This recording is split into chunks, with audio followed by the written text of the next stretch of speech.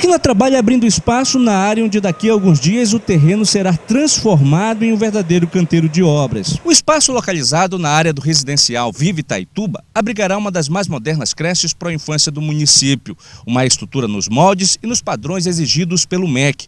Um espaço aconchegante, com todos os atributos necessários para proporcionar uma educação de qualidade para os pequenos.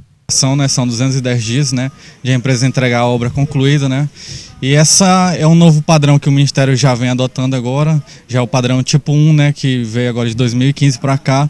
Foi reformulado os projetos das pró-infâncias né, e tem algumas modificações. Ela tem um número de aproximadamente oito salas de aula né, e, e construtora de banheiro, playgrounds para as crianças, né, e toda uma área de lazer para elas também, né? E é um projeto já novo, né? E bem moderno mesmo de creche. Por enquanto, os trabalhos estão apenas no início, estando concentrados na preparação da área com dimensões de 40 por 70. A obra de cunho federal pelo Parque 2, com parceria do município, está orçada no valor de R$ 1.864.998,13. Ontem, durante o lançamento da placa fundamental de início de construção da creche, a secretária de Educação, Zalda de Miranda, que esteve presente na área acompanhando o protocolo de lançamento, não economizou palavras para descrever a fase extraordinária que o município atravessa na área da educação nos últimos três anos, sobretudo com a implantação de creches numa parceria com o governo federal, estando o município adimplente, que favorece a captação de recursos junto à União.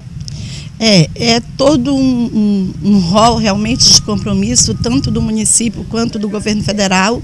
E a gente sabe né, que para que o município consiga é, ser contemplados com esses benefícios que o governo federal disponibiliza, o município ele tem que estar adimplente. Graças a Deus a gente tem mantido esta linha e prova disso é mais